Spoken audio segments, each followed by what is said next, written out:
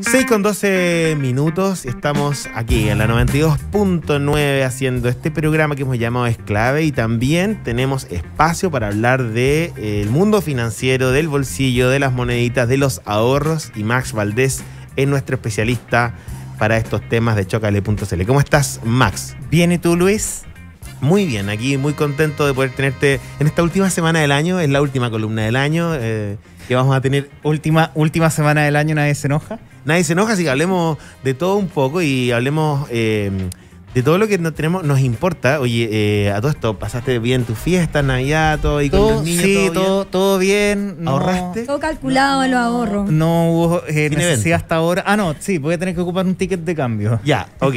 Eso era, ya. Porque no hablaste de eso. Eh, sí, no, claro. Eh, habíamos hablado la semana pasada. Hay novedades, digamos. Eh, curiosamente, él salió en el diario oficial el mismo 24 de diciembre la nueva ley pro consumidor. Hay que tener ojo que aquí hay cosas que se van a demorar un poquito en implementarse. Tienen que salir algunos reglamentos, pero sabemos ya las generalidades, cómo viene la ley, digamos. hay varias. Hay varias novedades al respecto y que tienen que ver justamente con eh, eh, cómo de alguna manera van a ser exigibles nuestros derechos. Lo más llamativo, eh, y aquí también quiero, quiero saludar a, un abogado que sé con estos temas, que es Felipe Bravo Allende.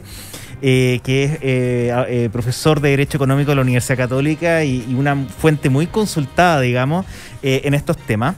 Eh, y un poco lo que, lo que decía él es que eh, acá hay varias cosas que son súper destacables y, probablemente, y él recalcó, eh, estuvimos conversando con él, que la extensión de la garantía legal ¿ya? Eh, de tres a seis meses. Hablamos de garantía legal eh, cuando eh, ocurren ciertas cosas puntuales que tienen que ver con una falla en la fabricación o cuando el producto que se compró no sirve para los propósitos que se suponía que tenía que haber servido. Ya, nos falta el que se pasa de listo y de repente, hoy esto me salió medio fallado. Claro, no, no, la ley, la ley es súper clara. La garantía legal es cuando los productos que están sujetos a, a normas de seguridad o calidad que deben cumplirse de forma obligatoria no cumplen con las características, las especificaciones anunciadas, ¿cierto? O derechamente tienen problemas de seguridad.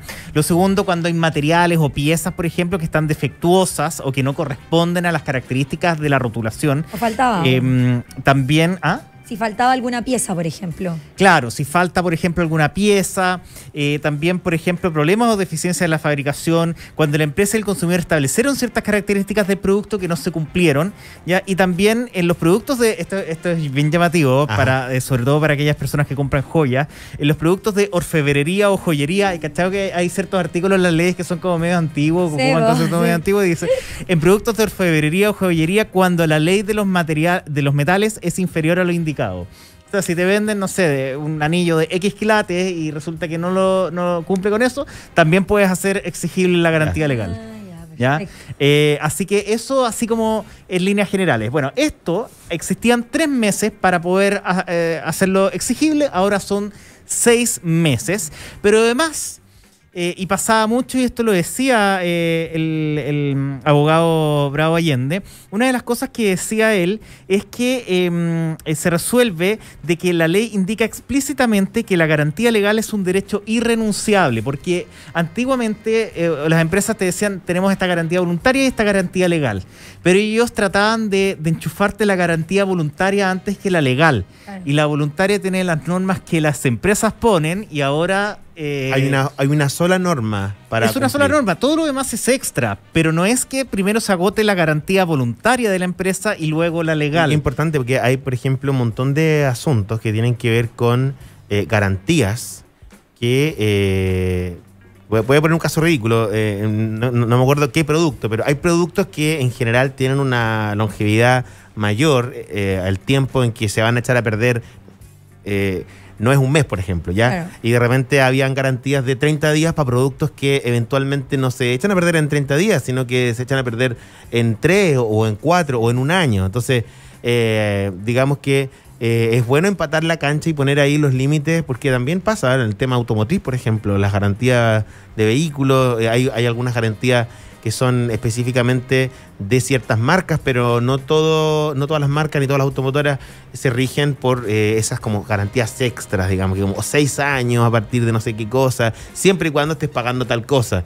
¿no? Y de repente necesitas que, digamos, un vehículo eh, te, te cumpla con una norma, así que de repente se le echa a perder algo eh, que estaba fuera de, de- de tu uso, ¿no? Bueno, de hecho, eh, con los vehículos pasa algo interesante porque eh, otra- una de las cosas que, que a uno eh, de verdad molestaba muchísimo era que tú ibas a comprar un auto, por ejemplo, nuevo, a una automotora, ¿cierto? Etcétera, y resulta que empezáis a preguntar, oye, ya, ¿y cuánto valen las mantenciones? No, valen, no, son como 110 lucas, y después lleváis el auto y te cobran 220. Sí, claro, Eh, cumple. ahora las, las automotoras tienen que ser súper claras, de- digamos, de decirte aproximadamente, digamos, ¿Cuánto voy a pagar en cuánto, va- mantención? cuánto te van a costar las mantenciones, ¿cierto? Que van a ser requisitos para mantener la- la- el funcionamiento del vehículo. Y además, si la mantención dura más de cinco días, te tienen que prestar un auto. O sea, también empieza como a ponerle un poquito de presión sobre los, eh, los plazos de eh, justamente esta, estas mantenciones. Lo otro, derecho de retracto.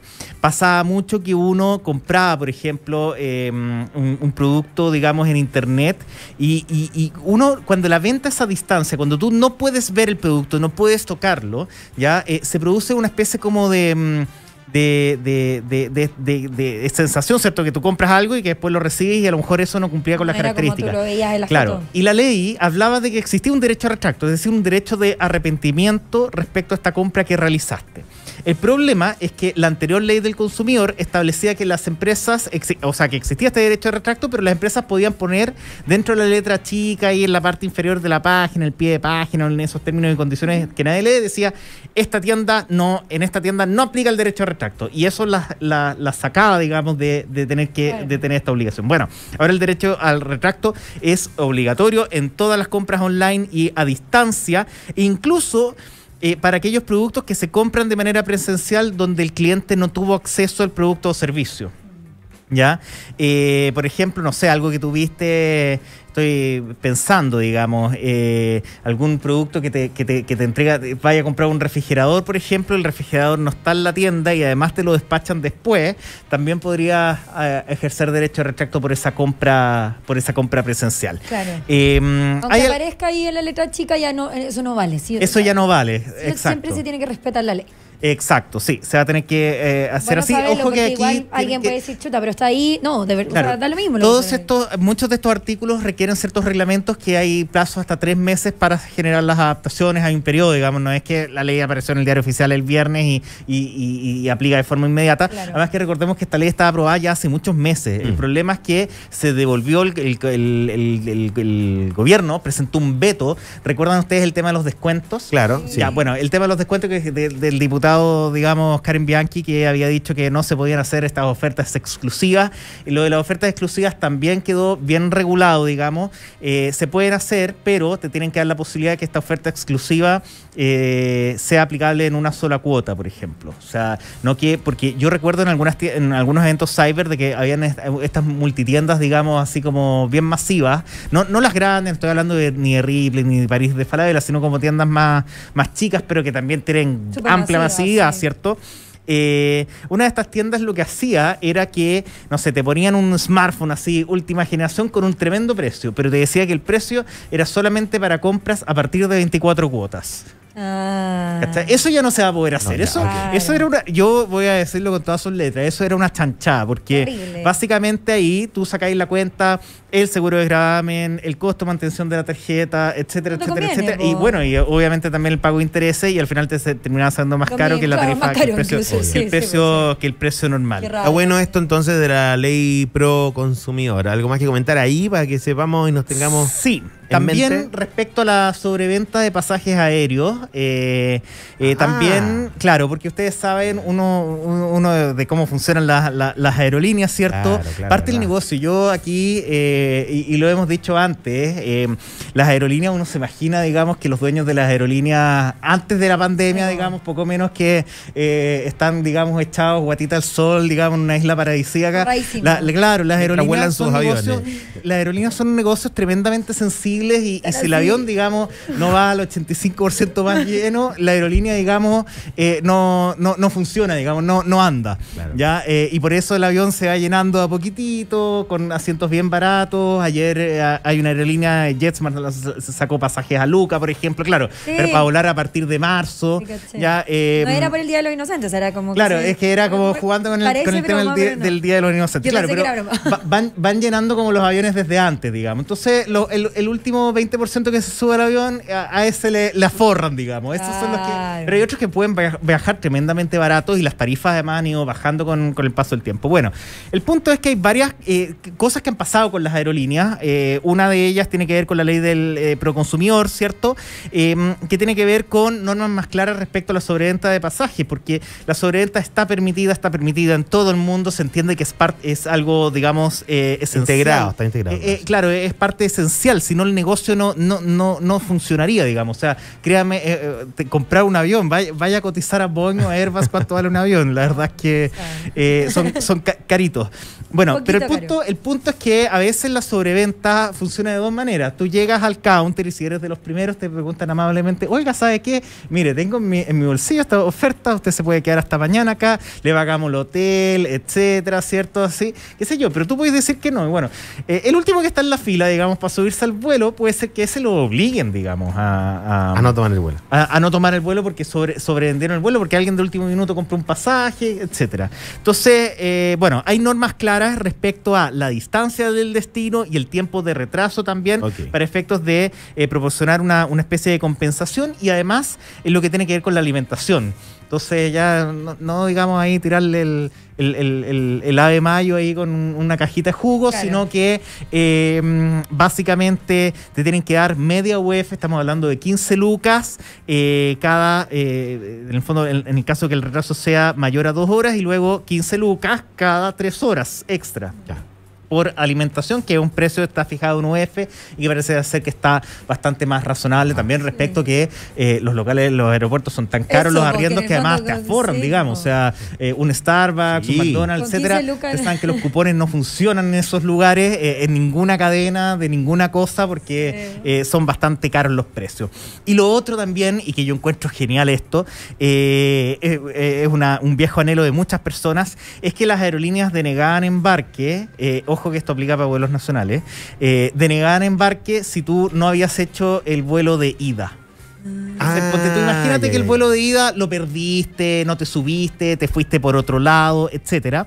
Bueno, eh, ya no te pueden negar el embarque por no haber hecho el vuelo de ida. Perfecto. Ya, entonces puedes tomar el de vuelta sin haber hecho, Sí, claro. ¿cierto? El de ida. Igual hay que considerar que hoy día las tres aerolíneas locales igual te venden los, porque eh, esto, digamos, sobre todo era muy sensible eh, cuando tú tenías que comprar el ida y vuelta juntos, porque tú co- cotizabas solo ida y era mucho más caro que el ida y vuelta.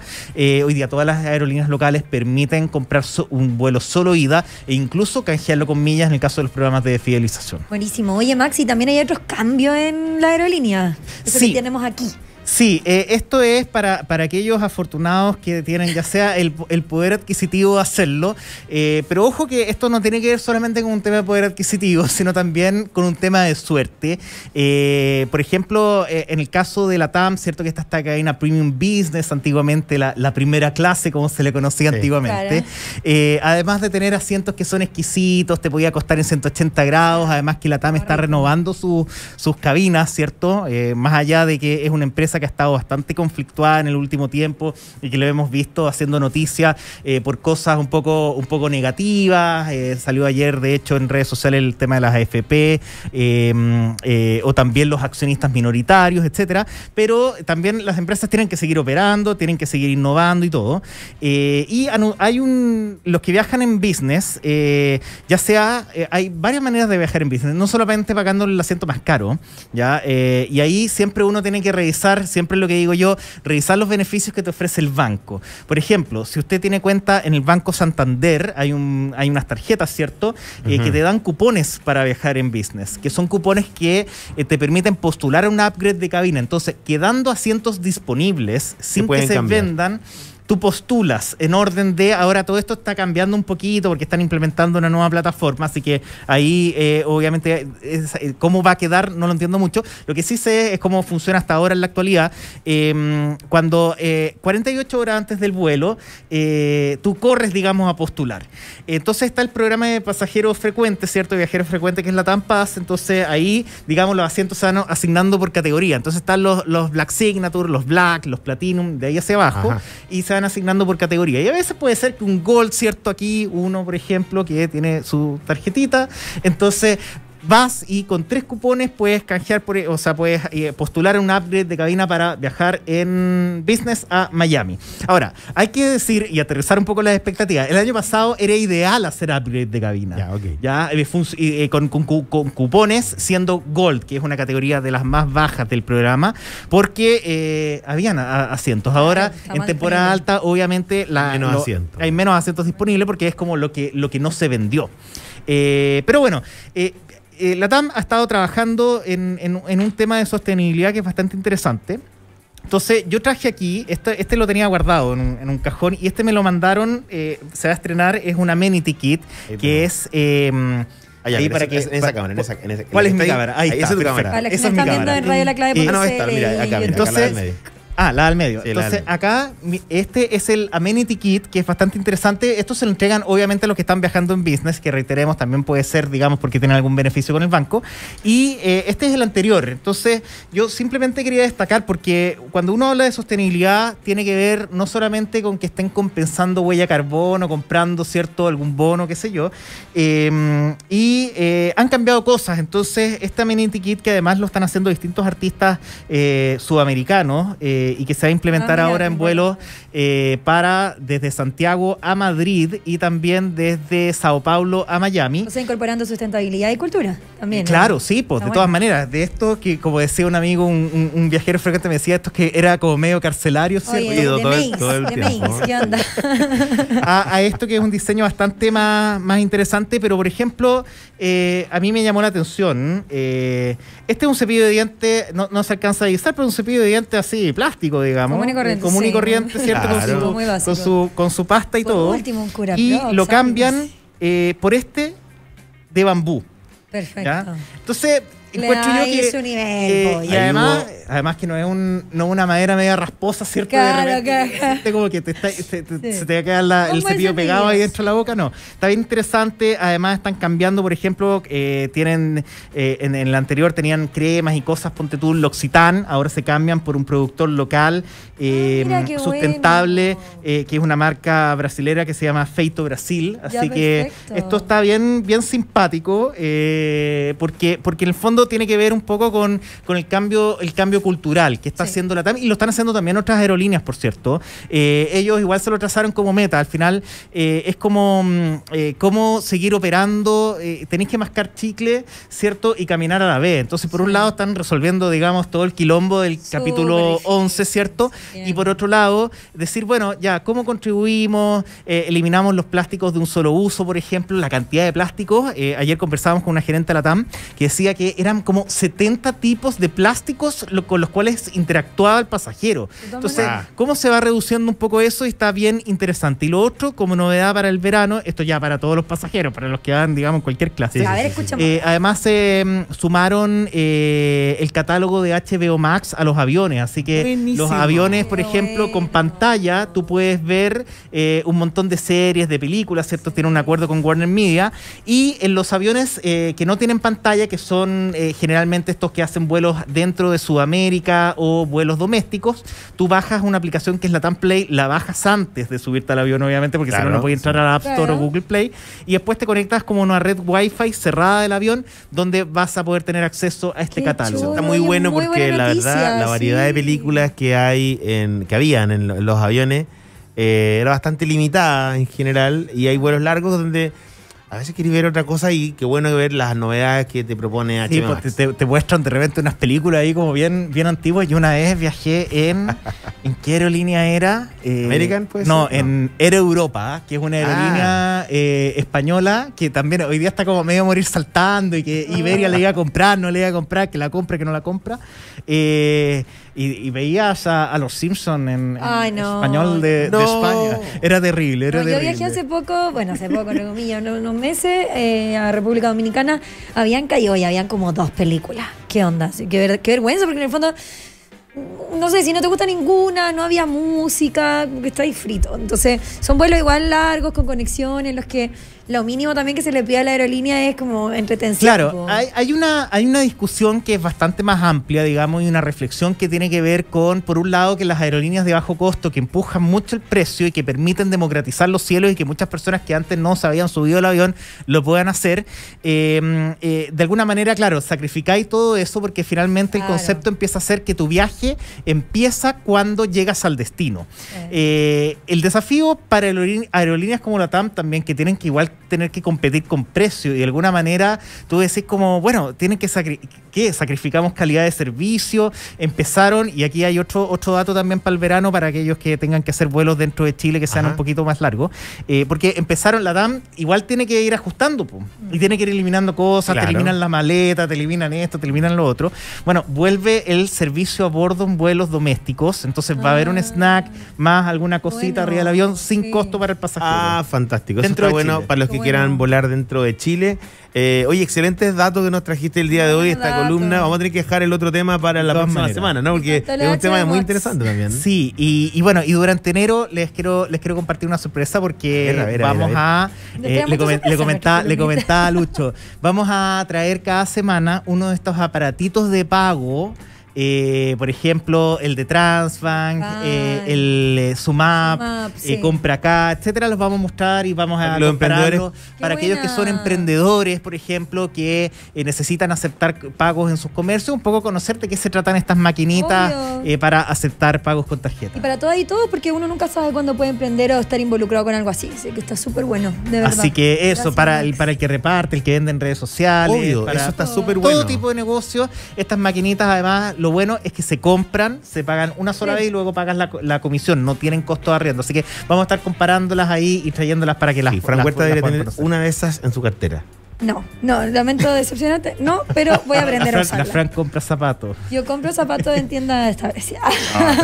No, pero me refería a que eh, Fran Huerta, como buena influencer y buena. Ah, pero es que yo no cobro nada, entonces. de- no, es que tienes que aprender a cobrar. Ya, Ahí tienes que voy empezar a. a, pedirle ayuda ahí a Max. Oye, gracias Max, chocale.cl siempre dándonos todos los datos. Y feliz año. Sí, bueno, eh, yo simplemente desearles a todos los que están escuchando la radio que tengan un muy feliz fin de año y nos veremos el Claro. 2022. Sí, Así de es. todas maneras, ahí, ahí nos vamos adaptando porque muchas cosas nuevas, pero tú sabes que siempre es tu casa, como se lo decimos ahí a todos nuestros panelistas. Muchas gracias, Max, y gracias. a todo el equipo de Chocale.cl que sabemos que, oye, sacan la cresta ahí para llevar adelante todos, los datos, datos, de verdad, no se lo pierdan. Yo creo que es clave estar revisando toda- todos los días, toda la semana, las notas ahí de Chocale.cl. Dos segundos. Sí, Sí. Absolutamente. Eh, no, quiero, quiero darle un, un abrazo a, a Gonzalo Fuensalía y a Benjamín Sierra Alta, que son del equipo. Yo no estoy solo. eh, ellos también reportean, están trabajando, digamos. Así que a ellos y también a una que se nos fue a la Cata Marconi, po. que también estuvo durante todo el año. Eh, así que ahí para los créditos también. Uno, uno es como la- un poco la cara, la, El cara, rostro. la cara visible, pero, Pero pero en realidad hay todo un equipo detrás. Sí, de todas maneras, y que sabemos que siempre están ahí reporteando todas las noticias y todo lo que al fin y al cabo todos tenemos que saber. Así que está buenísimo. Nosotros seguimos aquí en Radio La Clave, 6 de la tarde con 35 minutos. Queda poquito, pero te acompañamos, por supuesto, todas las tardes clave. Al regreso leemos tus comentarios. Ya vuelve. Es clave.